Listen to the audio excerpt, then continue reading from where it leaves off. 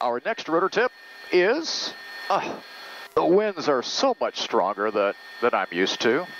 If I had a dime for every time that an applicant blamed the winds as a reason for their poor performance, I would encourage the applicants to uh, fly with their instructors on the windy days and the gusty days. I know it's easy to cancel on those days, but if check ride day happens to be a little windier day, they really can't be using the winds as an excuse for their poor performance.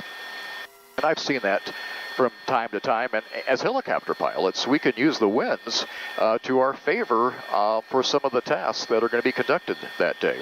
I'll talk to instructors right here. If if you feel the winds are really gusty and you know maybe uh, severe, too strong, yeah, it's okay to cancel that. What I'm talking about is don't be afraid to fly on those days where the winds are gusting up over 20 knots because there probably will be a day that your student is going to have to fly in conditions like that.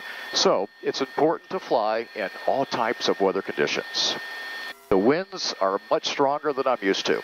Keep that in mind, instructors, and let's try to fly with the students, even on some of the windier days.